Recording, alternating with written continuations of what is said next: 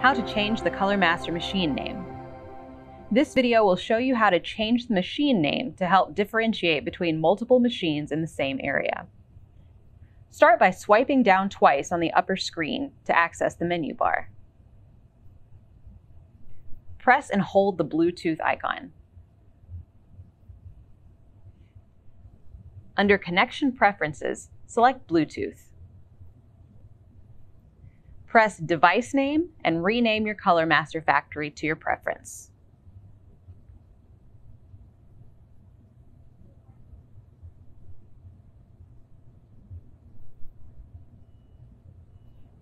Now, press the square icon at the bottom of the screen to restart your ColorMaster application.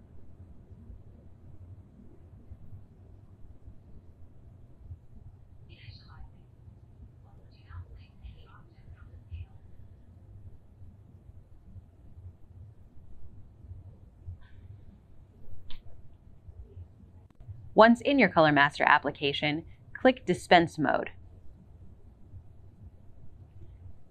Now click the Settings tab.